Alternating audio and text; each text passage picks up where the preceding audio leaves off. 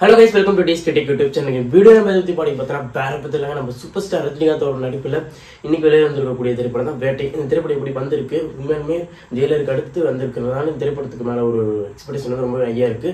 படம் வந்து ஜெயிலரோட மொட்டத்தனமாக இருக்கா? நம்ம டிஜி நானவர் வந்து கண்டென்ட்டும் கமர்ஷியலும் மிக்ஸ் பண்ணி எப்படி எடுத்திருக்கான்றத பற்றி நம்ம இந்த வீடியோவில் பார்க்க போகிறோம் அதுக்கு முன்னாடி நீங்கள் நம்ம சப்ஸ்கிரைப் பண்ண மாதிரி சப்ஸ்கிரைப் பண்ணிக்கோ பார்த்துருக்கு பண்ணால் ப்ரெஸ் பண்ணி ஓகே வாங்க வீடியோக்குள்ளே போகலாம் ஓகே ஃபர்ஸ்ட் வேட்டை பொறுத்த ஒன்லைன் ஸ்டோரி என்ன அப்படின்னு கேட்டீங்கன்னா ஒன்லைன் ஸ்டோரி வந்து நம்ம ரெண்டு பிளாட்டாக பிடிச்சிக்கலாம் ஒன்று வந்து என்கவுண்டர் என்கவுண்டர் இனிமே தீர்வாகாது. அவங்களுக்கு வந்து தண்டனை வாங்கி கொடுக்கறது தான் ஒன்று வந்து தீர்வாகும். நம்ம வந்து என்கவுண்டர் பண்ணுறோம் அதான் வந்து தீர விசாரித்து இவன் தான் உண்மையான ஆளான்றது தெரியாமல் என்கவுண்டர்லாம் பண்ணிகிட்ருக்கோம் இருக்கோம். தீர ஆராய்ஞ்சு ஒன்றா அப்படின்றதெல்லாம் வந்து கோர்ட் வந்து முடிவெடுத்துக்கும். அதனால் வந்து என்கவுண்டர் இனிமே தீர்வாகாதுன்றது அவங்க சொல்லியிருக்காங்க. இன்னொன்று வந்து நீட் நீட் சென்டர் வச்சுட்டு வாங்க இங்கே நீட் சென்டர் வாங்க. கண்டிப்பாக நீங்கள் வந்து எம்பிபிஎஸ் ஆகி விடுவேன் அப்படின்னு சொல்கிறாங்க அவங்களுக்கெல்லாம் ஒரு சிறுபடியான ஒரு திரைப்படம் தான் வந்து நீட் நீட் மூலமாக ஏழை எளிய மக்களை எப்படி ஏமாத்துறாங்கன்றதை பற்றி இந்த திரைப்படத்தில் வந்து சூப்பராக தெளி தெளிவாக போட்டு காமிச்சிருக்காங்கன்னு சொல்லணும். எனக்கு வந்து திரைப்படம் வந்து ரொம்பவே பிடிச்சிருந்து தான் சொல்லணும். எப்படின்னா கண்டென்ட் ஓரியன்டாக இந்த திரைப்படம் என்ன சொல்ல வந்திருக்கு அந்த கண்டென்ட் பேஸில் வந்து திரைப்படம் ரொம்பவே பிடிச்சிருந்துச்சு. பட் ஆனால் இந்த திரைப்படம் வந்து எங்கேயுமே வந்து நம்ம வந்து அடுத்து என்ன நடக்கும்? ஓ இது நடக்குமா அது நடக்குமான்ற வந்து கெஸ் பண்ண முடியாது. ஏன்னா வந்து அந்த மாதிரி தான் வந்து ஸ்க்ரீன் பிளே வந்து நம்ம டிஜி நாளில் வந்து எடுத்திருக்காப்புல. அப்படின்னு சொல்லணும் தான் எனக்கும் ஆசை. பட் ஆனால் ஒரே ஒரு விஷயம் மட்டும் தான் என்னால் கெஸ் பண்ண முடியல. அது என்னன்றதுலாம் சொல்ல மாட்டேன். ஏன்னா வந்து அதை சொன்னால் ஸ்பாயில் ஆயிடும். மற்றபடி வந்து நிறைய விஷயங்கள் வந்து நம்ம கெஸ் பண்ணுற மாதிரி தான் இருக்கும். ஏன்னா வந்து படத்தோட பிளாட்லேருந்து ஆரம்பித்து எல்லாமே வந்து கெஸ்ஸிங் தான். நம்ம வந்து அடுத்து இதுதான் நடக்கும். அடுத்த தலைவர் தான் பண்ண போகிறாரு அடுத்து இங்கே தான் இருப்பார். அப்படின்லாம் நம்ம வந்து கெஸ் பண்ணிடலாம். அதனால் வந்து கெஸ் பண்ண முடியாத அளவுக்கு ஆ ஓன்ற திரைப்படம்லாம் வேட்டையும் கிடையாது. கெஸ் பண்ணக்கூடிய ஆனால் கெஸ் பண்ணாலும் கண்டென்ட் ஓரியன்டாக நம்ம டிஜி நாடுகள் வந்து நல்ல ஸ்க்ரீன் பிளே மூலமாக நல்லா கொடுத்துருக்காப்புல. எனக்கு வந்து திரைப்படம் வந்து ஓகே ஓகேவான திரைப்படம் தான். ரொம்ப ஆகாவோன்னு சொல்ல மாட்டேன். ஓகே நல்லா இருக்கு. ஒரு தடவை பார்க்கலாம் மாதிரி தான் சொல்லுவேன்.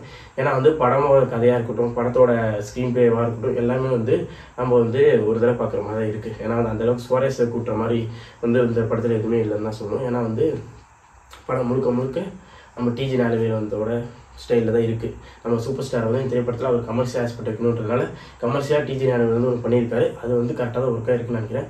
டிஜி நாயகர்களோட இதில் டேர்ம்ஸில் வந்து படம் வந்து சூப்பராக இருக்குன்னு தான் சொல்லணும். டிஜி நாயகர்கள்ட்ட வந்து எனக்கு என்ன பிடிச்சிருந்துச்சுன்னா அது இன்வெஸ்டிகேஷன் சீன் வந்து சூப்பராக எடுத்து போயிருந்தார். ஃபர்ஸ்ட் ஹாஃபில் வரதா இருக்கட்டும் செகண்ட் ஹாஃபில் வரதா இருக்கட்டும் இன்வெஸ்டிகேஷன் சீன் வந்து சூப்பராக எடுத்து போயிருந்தார். ஒரு சில ட்விஸ்ட் அதெல்லாம் சொன்னால ஒரு சில ட்விஸ்ட் வந்து நல்லா தான் இருந்துச்சு. இருந்தாலும் வந்து படத்தோட முழுக்க முழுக்க செகண்ட் ஹாஃபில் வந்து கிளைமேக்ஸ் வந்து முக்கியமாக சொல்லணும் நான் வந்து ஏன்னா வந்து கிளைமேக்ஸ் வந்து எனக்கு வந்து சுத்தமாக பிடிக்கலங்க. என்னங்க இப்படி பண்ணிட்டீங்க அந்த மாதிரி தான் இருந்துச்சு. நல்லா போயிட்டு கிளைமேக்ஸ் நல்லா முடிச்சிருந்துருக்கலாம். பட் ஆனால் அந்த கிளைமேக்ஸ் நீங்களே பார்த்தீங்கன்னா உங்களுக்கே வந்து ஏன்டா இப்படி முடிச்சிங்கன்னு தான் தோணும். அதனால வந்து கிளைமேக்ஸ் வந்து எனக்கு அந்த அளவுக்கு வந்து தேட்டரை வெட்டி தெரிக்கிற அளவுக்கு கிளைமேக்ஸ் இருக்காது. ஓகே செட்டில்டான ஒரு கிளைமேக்ஸை முடிச்சிருப்பேன் அது கொஞ்சம் எனக்கு வருத்தமாக இருந்துச்சு. கிளைமேக்ஸ் இன்னும் பெட்டராக நல்லா முடிச்சிருந்துருக்கலாமே அப்படின்னு தோணுச்சு. ஃபர்ஸ்ட் ஹாஃப் பொறுத்த வரைக்கும் இன்ட்ரோல் பிளாக் கடைசி இருபது நிமிஷம் இன்டர்வல் இன்ட்ரோல் வர வரைக்கும் கடைசி இருபது நிமிஷம் வந்து சரமாக போகும். வேறு லெவலில் இருக்கும். அதுக்கப்புறம் செகண்ட் ஹாஃப்ல வந்து ஒரு ஜெயிலர் மாதிரியான ஒரு கான்செப்ட் வரும். எப்படின்னா ஃபைட் சீக்வன்ஸில் வந்து ஜெயிலர் அந்த மூணு பேர் வருவாங்களா அந்த மாதிரி.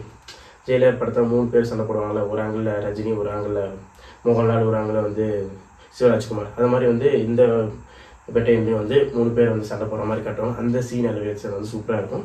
முக்கியமாக இந்த திரைப்படத்தில் வந்து ப்ளஸ் பாயிண்ட்னா நான் வந்து பகத் பாசில் அவர் சொல்லுவேன். அவரோட கேரக்டர் வந்து எங்கே வந்தாலும் சூப்பராக இருக்குங்க அந்த திரைப்படத்தில். வேட்டையன் திரைப்படத்தை பொறுத்த வரைக்கும் பகத் பாசிலோட கேரக்டர் பிரிச்சு மேஞ்சிருச்சு. ஏன்னா வந்து எந்த இடத்துல பகத் பாசில் வர சீன் எல்லாமே சூப்பராக இருந்துச்சு. அவர் பண்ணுற அந்த காமெடியாக இருக்கட்டும் அவர் பண்ணுற அந்த மேனரிசமாக இருக்கட்டும் அவரோட ஆக்டிங் வந்து பின்னிட்டார் அவர் ஆக்டிங் வந்து மைண்ட் ப்ளோயிங் ஏன்னா வந்து அவர் ஆக்டிங் வந்து இதுக்கு மேலே வந்து எதுவுமே சொல்ல விரும்பல. அவரை பற்றி எல்லாருமே பேசியாச்சு அவர் ஆக்டிங் வந்து தரமாக இருந்துச்சு. உண்மையாலுமே வந்து நிறைய இன்டர்வியூ சொன்னால் பக்கத்து பாசில் வந்து அவரோட கேரக்டர் வந்து சூப்பராகவே இருக்கும் அப்படின்னு சொல்லியிருந்தாங்க. உண்மையாலுமே ஒன் ஆஃப் தி ஹீரோனா இந்த வேட்டையின் படத்தில் ரஜினிகாந்த் அடுத்து ஒன் ஆஃப் தி ஹீரோனா நம்ம பக்கத்து பாசில் சொல்லலாம். அந்த அளவுக்கு நடிப்பில் பின்னிட்டாப்புல கேரக்டர் வைஸாக அவருக்கு வந்து சூப்பராக வெல் ரிட்டன் கேரக்டர்னு சொல்லணும். அடுத்ததாக வந்து அமிதாப் பச்சன் அவர் இருக்காங்க ராணா அவங்க இருக்காங்க. அவங்க ரெண்டு அவங்க ரெண்டு பேர்த்தோட கேரக்டர் வந்து அவ்வளோக்கு ஜெல்லாகலன்னு தான் சொல்லணும். நம்ம கதையோட கனெக்ட் ஆகாத ஒரு கேரக்டர் தான் சொல்லணும். ராணா அவரோட கேரக்டரும் அமிதாப் பச்சன் அவரோட கேரக்டரும் அந்த ரெண்டு கேரக்டர் யாரை வச்சு வேணால் பண்ணியிருக்கலாம். அதுக்கு ஏன் வந்து அமிதாப் பச்சன் ராணாவை சூஸ் பண்ணாங்கன்னு தெரியல. ஏன்னா அமிதாப் பச்சன் கேரக்டர் வந்து அந்த அளவுக்கு நமக்கு வந்து ஒரு கனெக்டே ஆகாதுங்க. ஆனால் அமிதாப் பச்சன் ரஜினிகாந்த் அவர் இருக்கான் அப்படின்ற மாதிரி ஒரு ஃபீல் தான் கிரியேட் ஆகும் வரையே அவருக்கான ஒரு ஸ்கோப் இந்த திரைப்படத்தில் முழுக்க இருக்கா அப்படின்னு கேட்டால் எதுவுமே கிடையாது. அவரோட கேரக்டர் எங்கேயுமே எஃபெக்டாகவும் இல்லை. நமக்கு தேவையும் படலை. அந்த கேரக்டர் அவ்வளோ எஃபெக்ட் ஆகும். அதுக்கப்புறம் வந்து ராணாவரோட கேரக்டர் வந்து தேவை கிடையாது. செகண்ட் ஹாஃபில் தான் வராப்பில். இருந்தாலும் அது ஒன் ஆஃப் தி கேரக்டர் தான் ஆனால் வந்து அது யாரெல்லாம் பண்ணியிருக்கலாம் ராணா போட்டிருக்காங்க. அதுவும் அந்த அளவுக்கு எஃபெக்ட் எனக்கு தெரியல. அதுக்கப்புறம் வந்து ரித்திகா சிங் அவங்களோட கேரக்டர் வந்து சூப்பராக இருந்துச்சு. அவங்க வந்து பின்னி படம் எடுத்திருந்தாங்க ஒரு ஃபைட் சீக்வன்ஸில் வருது. அது சூப்பராக எடுத்திருந்தாங்க மஞ்சு வாரியர் அவங்களுமே வந்து சூப்பராக நடிச்சிருந்தாங்க. அதில் சந்தேகம் கிடையாது. அவங்க புதா கொடுத்த கதாபாத்திரத்தை சூப்பராக பண்ணியிருந்தாங்க அதே மாதிரி தான் ரித்திகா சிங் அவங்களும் அவங்களுக்கு கொடுத்த கதாபாத்திரத்தை சூப்பராக பண்ணியிருந்தாங்க அதுக்கப்புறம் வந்து மியூசிக் பொறுத்த வரைக்கும் நம்ம அனிருத் அவர் வந்து சொல்லவே தேவையில்ல. பின்னிட்டாரு இந்த படத்தில் வந்து ரிலீஸ் ஆகாத ரெண்டு சாங் வருது. அந்த சாங் வந்து நம்மளை வந்து ஒரு மாதிரி உழுக்கிற மாதிரியான ஒரு பாடல் தான் வந்து வருது. ரிலீஸ் ஆகாத ஒரு ரெண்டு சாங் இருக்குது அந்த சாங் வந்து ரொம்பவே மைண்ட் வந்து ரொம்பவே ஒரு மாதிரி நிலைக்கு கொண்டு போயிடும். அந்த மாதிரியான ஒரு பாடல் தான் ரொம்ப ரிலீஃபாக இருக்கும். அதுக்கப்புறம் இந்த மனசில் ஐயோ அண்டர் ஒன்டர் இதெல்லாம் வந்து இருக்குது அதுலேயுமே ஒரு மிக்ஸ் பண்ணியிருக்காப்புல. அதெல்லாம் வந்து நம்ம அனிருத்தோட அவர்கள் பிரிச்சுட்டாரு. இந்த திரைப்படத்தில் வந்து பிஜே மிக்ஸ் வந்து சூப்பராக இருக்குது இந்த திரைப்படத்தோட ஒன் ஆஃப் தி பில்லர்னால் நம்ம வந்து பகத் பசல் சொல்லியாச்சு. அடுத்து இன்னொரு பில்லர்னா நம்ம வந்து அனிருத் அவரை கண்டிப்பாக சொல்லலாம் ஏன்னா படம் ஃபுல்லாக அந்த பிஜிஎம் வந்து ஒர்க் வந்து சூப்பராக இருந்துச்சு. கொஞ்சம் டிஃப்ரெண்ட்டாகவும் இருந்துச்சு. பழைய டோன்லேயே இல்லாமல் கொஞ்சம் டிஃப்ரெண்ட்டாக இதை மிக்ஸ் பண்ணி கொஞ்சம் கொடுத்துருந்தாரு. அது வந்து வேட்டையின் திரைப்படத்துக்கு அது ப்ளஸ் பாயிண்ட்டாகவே இருந்துச்சுன்னு சொல்லணும் கடைசியாக வந்து படம் வந்து ஒன் டைம் நீங்கள் பார்க்கலாம். கண்டிப்பாக பார்க்கலாம். ஒரு டைம் கூட பார்க்க முடியாத அளவுக்கு அண்ணாத்த மாதிரி இருக்குலாம் சொல்ல மாட்டேன். படம் வந்து சூப்பராகவே இருக்குன்னு தான் நான் சொல்லுவேன். நம்ம சூப்பர் ஸ்டார் ரஜினிகாந்தோட ஸ்க்ரீன் பிரசன்ஸ் வந்து எப்பயுமே நான் சொல்லவே தேவை கிடையாது. ஏன்னா உங்களுக்கே தெரியும். ஏன்னா சூப்பர் ஸ்டார் வந்தாலே வந்து பா தேட்டர் வந்து தெரிக்கும். அதே போல் தான் சூப்பர் ஸ்டார் வந்தாலே தேட்டர் தெரிச்சு வேறு லெவலில் போயிடுச்சு சூப்பர் ஸ்டார் ரஜினிகாந்தோட ஸ்க்ரீன் பிரசன்ஸ் தரமாக இருந்துச்சு. அவர் வந்து இந்த மாதிரி ஒரு கேரக்டர் இந்த மாதிரி ஒரு கதையை சூஸ் பண்ணி நடிச்சிருக்கிறதுக்கு ஒரு ஆட்ஸ் ஆஃப் கொடுக்கணும். ஏன்னா வந்து சூப்பர் ஸ்டார் ரஜினிகாந்த் இந்த கேரக்டரை வந்து நடிச்சிருந்தாங்க I mean super star Rajinikanth இந்த மாதிரி படம் நடித்தா இன்னும் நிறைய பேர் வந்து பார்ப்பாங்க. நிறைய ஆடியன்ஸ் நிறைய ஆடியன்ஸ் வந்து இந்த திரைப்படத்தை பார்க்குறதுக்கு வருவாங்க. அதுக்காக இந்த திரைப்படம் வந்து ரொம்ப யூஸ்ஃபுல்லாக இருக்கும். ஏன்னா கதை வந்து நம்ம வந்து பல படங்களை பார்த்துருந்தாலும் பல படங்களை பார்த்த சீன்களே இதில் இருந்தாலும் நம்ம ரஜினிகாந்த் அவர் நடிச்சிருக்காரு அவரோட ஸ்க்ரீன் பிரசன்ஸ் நம்ம டிஜி நாயனோட ஒரு யூனிக்கான ஒரு ஸ்க்ரீன் பிளேல இந்த திரைப்படம் நீட் அண்ட் கட்டாக சூப்பராக வந்திருக்குன்னு சொல்லணும். அதுக்கப்புறம் இந்த திரைப்படத்தில் காஸ்ட் வைஸ் வந்து அமிதாப் பச்சன் கேரக்டர் ராணா கேரக்டர் மட்டும்தான் கொஞ்சம் டவுன்ஃபால் இருந்தது தவிர மற்றபடி எல்லாரையும் வந்து சூப்பரான ஒரு காஸ்டிங் தான் பண்ணியிருந்தாங்க.